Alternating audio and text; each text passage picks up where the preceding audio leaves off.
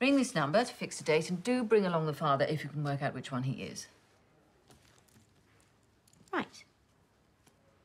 Right. Um, just out of interest, if someone did have an element of confusion about the father, Well, you can get a DNA sample at the amniocentesis, and I do recommend that you have the amniocentesis because there are always more risks with a geriatric mother. Geriatric. Hmm. That's outrageous. Indeed. Unless you can sign on for your child support and pension at the same time. That's hilarious.